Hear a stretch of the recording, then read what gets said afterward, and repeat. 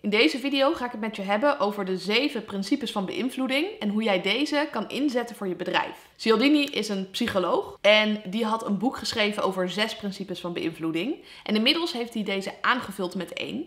En in deze video ga ik alle zeven principes meenemen en natuurlijk hoe jij het in je voordeel kan inzetten. Mijn naam is Isabel, ik ben zelf voormalig topsporter en in het powerliften een van de sterkste vrouwen van de wereld geworden. En daarnaast ben ik psycholoog en coach ik voornamelijk ondernemers hoe zij kunnen winnen op zakelijk vlak zonder op privévlak te verliezen. En dit is wat meer een zakelijke video, maar ook zeker iets wat jij in je privéleven kan inzetten.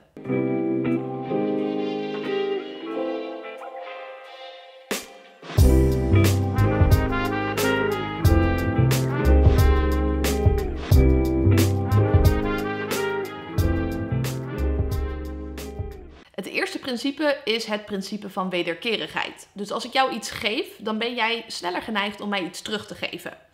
Maar vaak moet je wel meer geven voordat je iets terug gaat krijgen. Dus in business zie je dit bijvoorbeeld doordat bedrijven een gratis weggever hebben. Of een boek hebben met afbeeldingen van bijvoorbeeld keukens of tegels. Of in restaurants, dat op het moment dat jij de rekening krijgt, dat jij een pepermuntje erbij krijgt, omdat je dan geneigd bent om meer fooi te geven. Wat kan jij hier concreet mee als ondernemer? Ga eens kijken hoe jij een stapje extra kan zetten, zowel voor je klanten als voor je aanstaande klanten. Om zo enerzijds je klanten langer aan je te binden of anderzijds nieuwe klanten te maken. Het tweede principe is dat van sympathie. Dus we gaan sneller in zee met iemand die we aardig vinden. En daarom als we kijken naar de politici, dan zijn het vaak hele vriendelijke mannen, niet per se de alfamannen. Daarom stemmen we eerder op hen, omdat we hen in hun leiding vertrouwen. Maar ook waarom we eerder kopen bij een bakker die aardig is dan de chagrijnige bakker. En hoe zie je dit dan terug bij bedrijven? Nou, het gaat vaak over ons bijvoorbeeld. Of bedrijven die gebruiken een persoon voor het merk. Kijk naar een Elon Musk bijvoorbeeld van Tesla. Of Richard Branson van het bedrijf Virgil. Dus het kan ook helpen als je het nog niet doet en je hebt wel een groter bedrijf, om te werken aan jouw persoonlijke merk. Het volgende principe is dat van sociale bewijskracht. Als mensen zijn wij groepsdieren en vinden we het heel belangrijk wat anderen vinden. Want die zullen het wel weten. Op het moment dat er gevaar is, kijken we ook om ons heen hoe reageren andere mensen. Maar ook als het gaat om positieve dingen, zoals het toebewegen naar iets. Kopen van een nieuwe auto bijvoorbeeld. wat doen andere mensen? En wat vinden andere mensen ook? En het hoeven niet per se mensen te zijn die jij kent. Daarom zie je ook dat bedrijven reviews vragen en ook op de website plaatsen. Hoe jij dat voor jezelf kan doen als je iets wil kopen, dan raad ik je aan om echt in je omgeving te vragen naar ervaring. Maar hoe jij dit als ondernemer kan inzetten, is door bijvoorbeeld te vragen aan klanten wat hun ervaringen zijn en die neer te zetten in een review. Of ze een video op te laten nemen. Maak het wel zo persoonlijk mogelijk. Kijken we bijvoorbeeld naar de site van Gorilla's, als ik hen mocht coachen, dan zie je dat bij de reviews geen foto staat, alleen maar een voornaam. En dan had je de review ook net zo goed zelf kunnen schrijven. De volgende is het principe van autoriteit. Dus als jij een autoriteit bent in je vakgebied, dan zullen mensen eerder geneigd zijn om naar jou te luisteren. Denk aan het Milgram-experiment, waarbij mensen naar een expert luisterden in een witte jas en daarmee dus verder gingen, verder over hun eigen grenzen gingen, dan wanneer iemand geen witte jas droeg. Nou, hoe kun jij dit nou inzetten als ondernemer?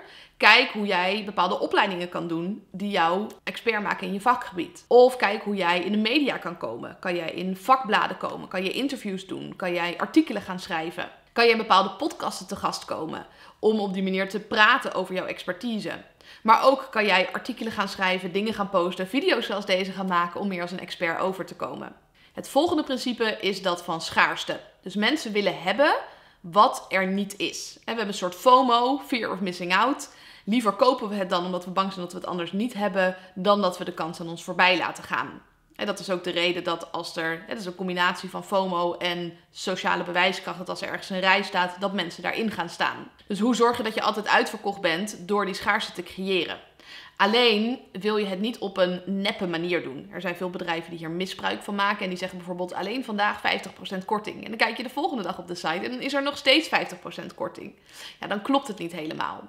Of ze zeggen dat er 99% korting is, maar je weet dat de oude prijs helemaal niet klopt. Dus als je gaat werken met schaarste, zorg dat het echte schaarste is. Dat als je zegt dat er nog maar vijf plekken zijn, dat er ook maar echt vijf plekken nog zijn. Of hoe je ook schaarste kan toepassen in je prijs is niet zozeer door kortingen te geven, maar door te zeggen dat dit een pilotprijs is die je later gaat verhogen.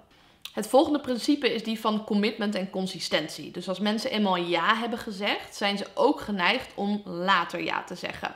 En hoe hier gebruik gemaakt van wordt, is met name door gedragsbeïnvloeding. Dus stel dat jij bijvoorbeeld een sticker op de auto plakt van ik rij veilig, dan ben jij geneigd om veiliger te rijden. Hoe kun je dit bijvoorbeeld toepassen in je business? En bol.com is hier een mooi voorbeeld van. Daarbij kan je een verlanglijst maken.